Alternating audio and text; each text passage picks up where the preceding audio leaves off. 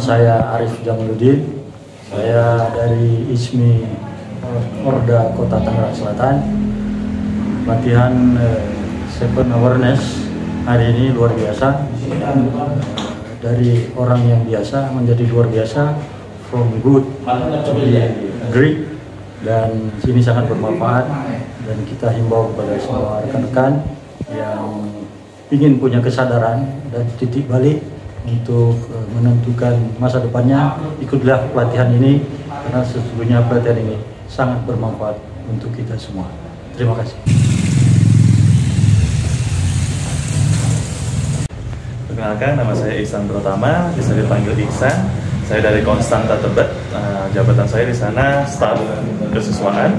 Nah, jadi uh, kesan pertama di hari pertama di Seven Awards ini sangat menyenangkan, banyak ilmu yang bisa didapatkan, terutama dari cara kita mengelola pikiran dan juga mengelola hati dan juga jiwa, supaya kita bisa menjadi manusia atau insan yang lebih baik ke depannya. Seperti itu. Terima kasih.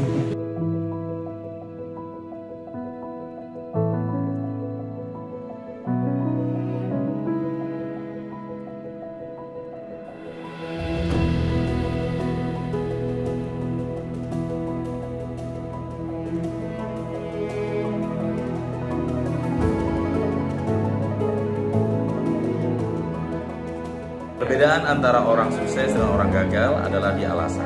Orang gagal memiliki ribuan alasan, sementara orang sukses dia hanya punya satu alasan, tidak ada alasan.